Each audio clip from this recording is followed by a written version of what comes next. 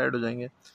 Four a square plus seven a square पहले साथ में रख लिया क्योंकि ये दोनों प्लस में ये दोनों माइनस में। है minus five a square minus three a square इसको ऐसे ही लिख लेंगे। क्योंकि अगर आप प्लस लगाते प्लस माइनस माइनस हो जाता प्लस माइनस माइनस हो जाता ठीक है? सात चार ग्यारह a square minus five a square minus three a square इसके दो तरीके हैं माइनस माइनस प्लस करके सॉल्व करिए। दूसरा तरीका ये आगे वाला छुपा लिए। पहले इतना सॉल्व किया। ग्यारह में से पाँच गया। Six a square minus three a square छुपाया था लिख दिया।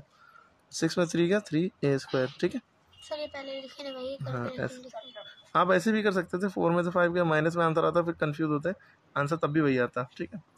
और देखिए सब ट्रैक करना है। सब ट्रैक की एक पहचान जब भी फ्रॉम लिखा हो ठीक है? तो फ्रॉम के बाद वाला नंबर पहले उतारते हैं। यानी कि फ्रॉम का ट्वेंटी ए लिखा है ये पहले उतारेंगे। यानी पंद्रह ए में से घटाओ बीस ए ठीक है? बीस ए में से पंद्रह ए घटाओ इसका मतलब ये होता है। तो ट्वेंटी ए आपने पहले लिखा फ्रॉम की जगह माइनस लगाया इसको फिफ्टीन ए को बाद में लिखा। ट्वेंटी ए में से फिफ्टीन ए गया।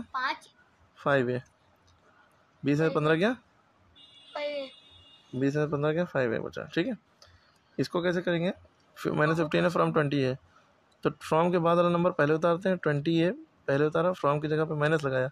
और इससे पहले वाला नंबर अब माइनस के बाद उतारता लेकिन इतफाक से ये माइनस में था। तो इसलिए ब्रैकेट लगा लिया ताकि कन्फ्यूज़न ना हो। इसको ऐसे उतार लिया ठीक है? ट्वेंटी ए लिखा minus minus plus fifteen a ठीक अच्छा ए ए दोनों क्वेश्चन सॉरी वेरिएबल सेम है, तभी ऐड हो सकता है। Twenty plus fifteen thirty five a अगर यहाँ बी होता तो इन दोनों को कभी ऐड नहीं कर सकते।